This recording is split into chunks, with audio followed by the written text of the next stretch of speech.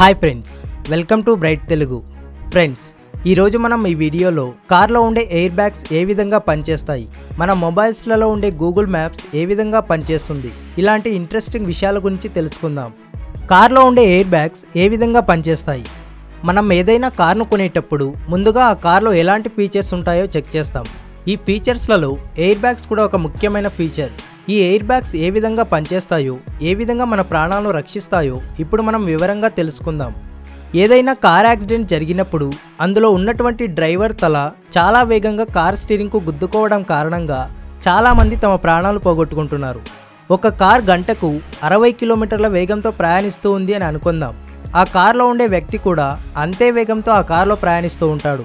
ఒకవేళ ఆ కార్ దేన్నైనా గుద్దినప్పుడు ఆ కార్ అక్కడే నిలిచిపోతుంది. అయితే ఆ కారులో ఉండే వ్యక్తి మాత్రం అదే అరవై కిలోమీటర్ల వేగంతో తన ముందున్నటువంటి స్టీరింగ్ను గుద్దుకుంటాడు. ఇదంతా కేవలం యాభై మిల్లీ సెకండ్స్లలో జరిగిపోతుంది. ఒక సెకండ్కు థౌజండ్ మిల్లీ సెకండ్స్ ఉంటాయి. అలాంటిది కేవలం యాభై మిల్లీ సెకండ్స్ అంటే మీరే ఊహించుకోండి ఎంత వేగంగా అపఘాతం జరిగిపోతుందో అని.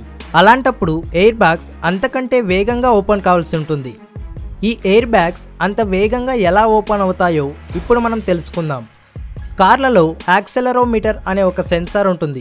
ఈ సెన్సార్ మనం ప్రయాణిస్తున్న కార్ ఎంత వేగంగా ప్రయాణిస్తూ ఉందో గమనిస్తూ ఉంటుంది.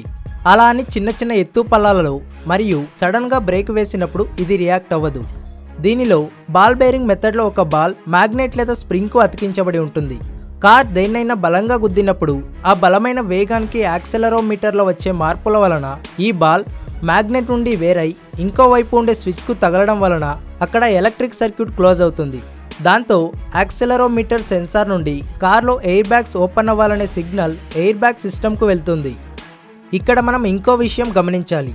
ఈ ఎయిర్ బ్యాగ్స్ అనేవి మనం ఒక బెలూన్ను ఊదే విధంగా పనిచేయవు. ఎందుకంటే ఈ విధంగా ఎయిర్ బ్యాగ్ నిండాలంటే చాలా సమయం పడుతుంది.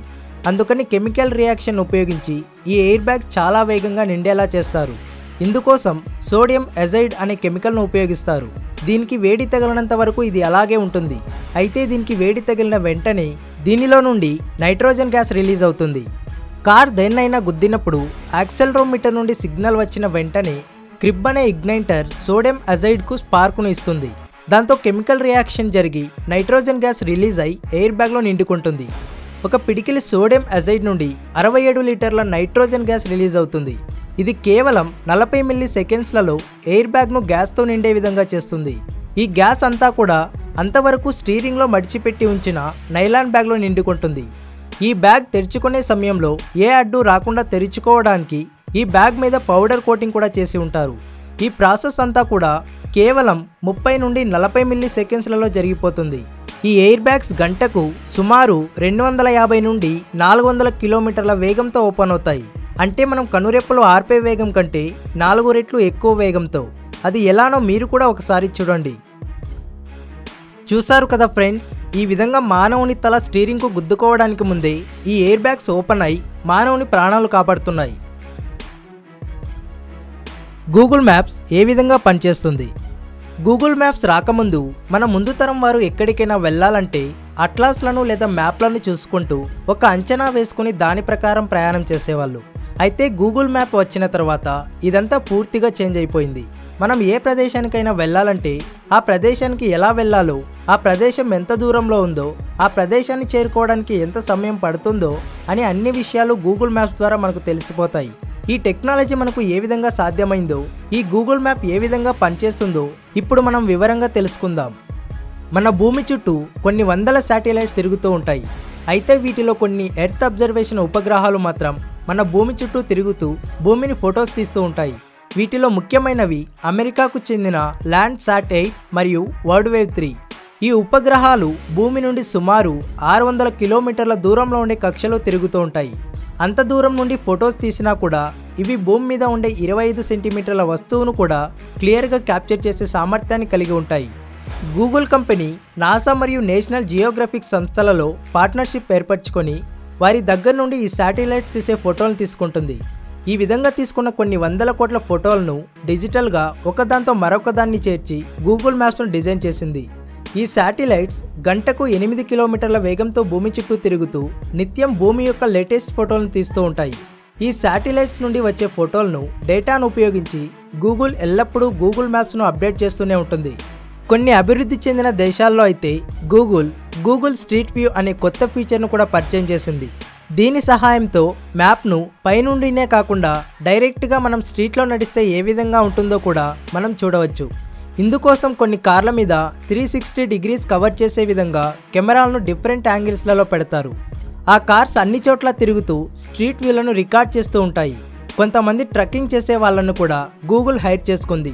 వారు ఈ కెమెరాలను ధరించి అడవిలో తిరుగుతూ ఆ ప్రదేశాలను త్రీ సిక్స్టీ డిగ్రీస్ రికార్డ్ చేస్తూ ఉంటారు. అదే ఎడారి ప్రాంతాల్లో అయితే ఒంటెలకు కొండ ప్రాంతాల్లో అయితే గొర్రెలకు ఈ కెమెరాను జోడించి రికార్డ్ చేస్తారు. అయితే కొన్ని దేశాలు సెక్యూరిటీ కారణంగా ఈ స్ట్రీట్ వ్యూకు అనుమతినివ్వలేదు. దాంతో ఈ స్ట్రీట్ వ్యూ కేవలం కొన్ని దేశాల్లో మాత్రమే అందుబాటులో ఉంది. అలాగే మనం ఎక్కడికైనా వెళ్ళాలని అనుకున్నప్పుడు గూగుల్ ఆ ప్రదేశానికి ఏ విధంగా వెళ్ళాలనే దారిని చూపించడమే కాకుండా ఆ దారిలో ఏ ప్రదేశంలో ఎంత ట్రాఫిక్ ఉందో కూడా చెప్తుంది. అది ఎలా అంటే గూగుల్ దీనికి క్రౌడ్ సోర్సింగ్ అనే పద్ధతిని ఉపయోగిస్తుంది. ఇది ఎలా పనిచేస్తుందంటే మనం అందరం ఇప్పుడు స్మార్ట్ ఫోన్లను ఉపయోగిస్తున్నాం. గూగుల్ మన మొబైల్స్ అన్నింటినీ ఎల్లప్పుడూ ట్రాక్ చేస్తూ ఉంటుంది. ఈ ట్రాకింగ్ ఆధారంగా రోడ్ మీద ఎన్ని మొబైల్స్ ఉన్నాయో అవి ఎంత వేగంగా మూవ్ అవుతున్నాయో గ్రహించి గూగుల్ ఆ ప్రదేశంలో ఎంత ప్రమాణంలో ట్రాఫిక్ ఉందో నికరంగా సూచిస్తుంది. అంటే మనం గూగుల్ మ్యాప్ను ఉపయోగించుకుంటూ గూగుల్కు కావలసిన డేటాను అందిస్తూ ఉంటాం. ఈ విధంగా శాటిలైట్స్ నుండి స్ట్రీట్ వ్యూ కార్ల నుండి మన మొబైల్స్ నుండి వచ్చే సమాచారాన్ని అంతా కూడా గూగుల్ సేకరించుకొని ప్రతి సెకండ్ కూడా గూగుల్ మ్యాప్స్ను అప్డేట్ చేస్తూ ఉంటుంది. ఈ విధంగా గూగుల్ మ్యాప్స్ తన పనిని చేస్తూ ఉంటుంది. ఫ్రెండ్స్ ఈ వీడియో చేయడానికి నాకు చాలానే సమయం పట్టింది. అయితే ఈ వీడియోను లైక్ చేయడానికి మీకు ఒక్క సెకండ్ సమయం కూడా పట్టదు. అందుకని వీడియో నచ్చితే తప్పకుండా లైక్ చేయండి షేర్ చేయండి. నెక్స్ట్ వీడియో మిస్ కాకూడదు అనుకుంటే కింద రెడ్ కలర్లో ఉన్న సబ్స్క్రైబ్ బటన్ని ప్రెస్ చేసి దాని పక్కన ఉన్న గంటను కూడా యాక్టివేట్ చేయండి. అప్పుడు నేను ఏ వీడియో చేసినా మీకు నోటిఫికేషన్ ద్వారా వస్తుంది. Thank you for watching